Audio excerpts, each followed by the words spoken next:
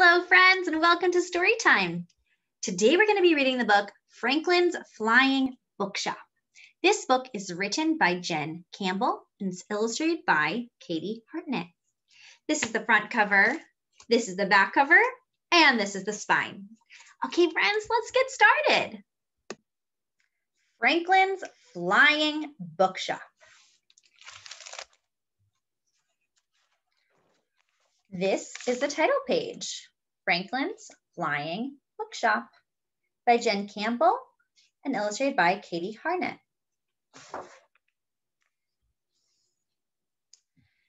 Franklin loved stories. Stories kept him warm at night. His front door is a bookcase that keeps out the wind. There are lots of books inside the cave that Franklin lives in.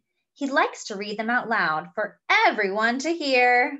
Wow, look, he has a book over here, book over here. Oh my goodness, look how many books he has. So many.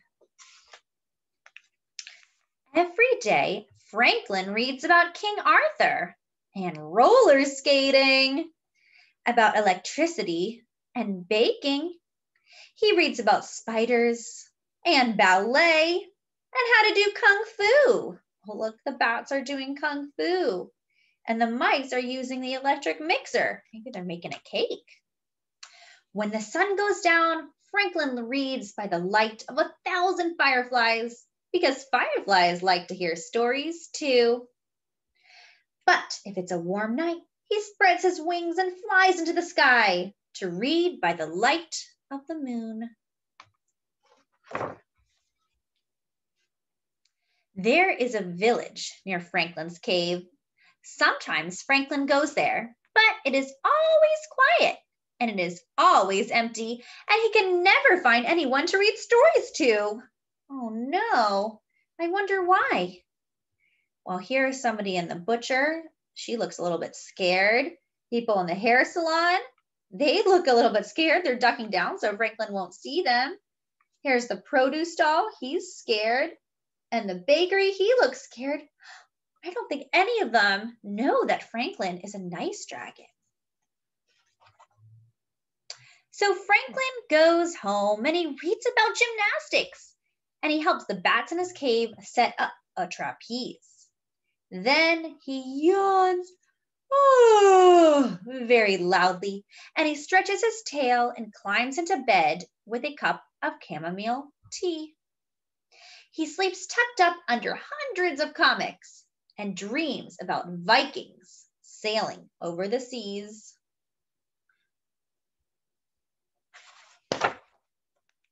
One day, by the stream, Franklin sees a man. What are you? cries the man, quaking in his boots. I'm Franklin, says Franklin, and he holds out his hand. I'm a dragon who loves books and I live in a cave.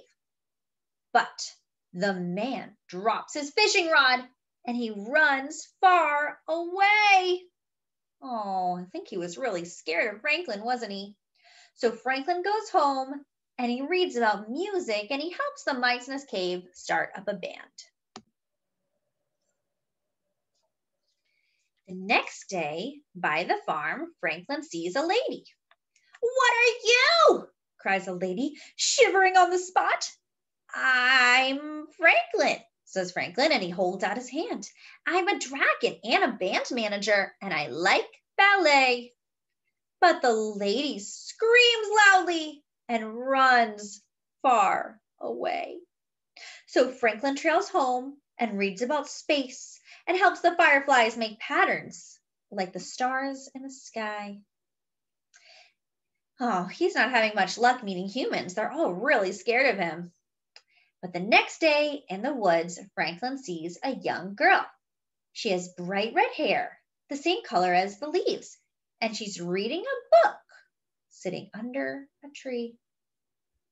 Hmm, Franklin likes books too. Who are you? asked the girl, jumping up to her feet. I, I, I, I'm Franklin, says Franklin, and he holds out his hand. I'm a dragon who likes stargazing and playing croquet. I love dragons, cries the girl, and she shakes Franklin's hand. You're in this book that I'm reading about a faraway land. Look at the book she's reading about the dragons.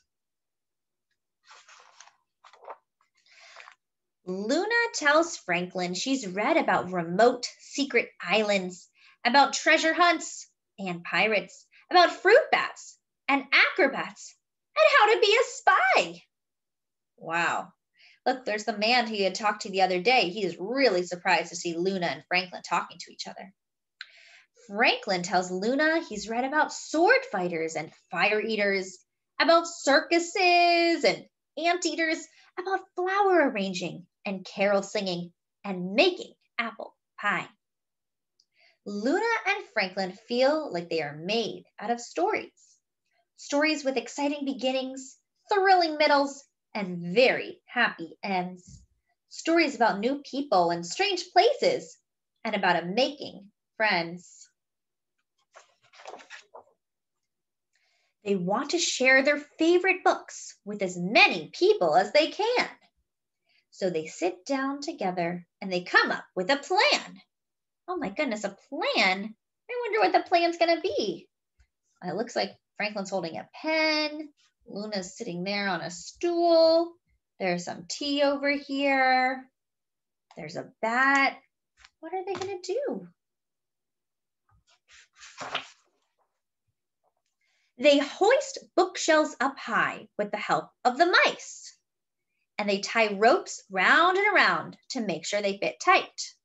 They move a sofa, some cake tins, and tie comics on with a string to make a small lopsided bookshelf between Franklin's wings. Whoa, look, it's a bookshop on Franklin's back.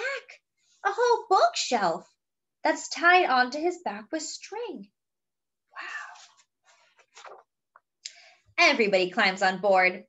Luna holds her breath. the mice hold on to each other. The fireflies gasp and the bats cross their toes. Franklin bends down low and runs as fast as he can. Whoa! He sprints down the hill and spreads out his wings and takes off into the sunset with the help of the wind. Franklin lands his flying bookshop in the middle of the village. It's the dragon! Cries the fisherman. What a monster! cries another. His name is Franklin, shouts Luna, a fierce look in her eyes. We built this bookshop together from the books in his cave. Franklin's kind and he's clever, and he is my friend.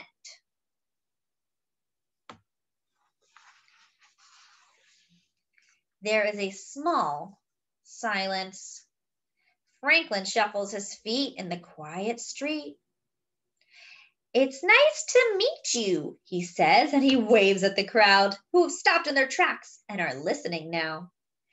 We have lots of stories that we'd love to share. Please come say hello and pull up a chair. Looks like they're going to share the books with all the people in the village. The fireflies light up the shelves so that everyone can see the books. The bats cartwheel along the bookcases. And the mites clear their throats and start singing songs like they have a band. It isn't long before the villagers start taking a look, climbing up on Franklin to peer at the books. Franklin takes a deep breath as Luna passes out cake. He tells them stories about scientists and Antarctica and snakes. He whispers tales about dragons and how to make creme brulee, and everyone is listening to what he has to say.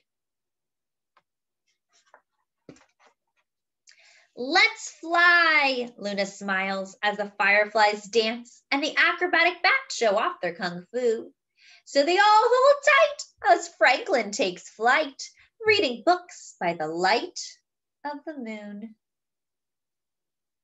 So look, they're all on his back. And he's even reading a story while he's flying. And what do you think the, the bats are doing? They're greeting all the people.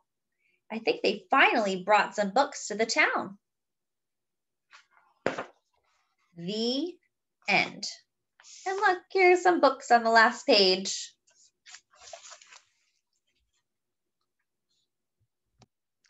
Thanks for joining me for story time, friends, as we read Franklin's Flying Bookshop.